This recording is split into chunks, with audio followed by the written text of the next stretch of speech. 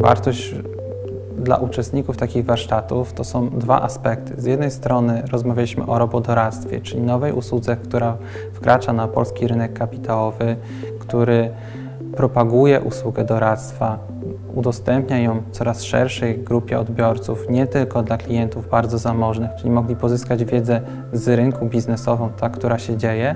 Z drugiej strony był aspekt dotyczący produkcji oprogramowania. Rozmawialiśmy o Scrumie, o Sprincie, o Product Ownerze, o tym, jak uzyskać największą wartość z wytwarzanego oprogramowania dla użytkowników końcowych, żeby to użytkownik końcowy był w centrum tego wytwarzania.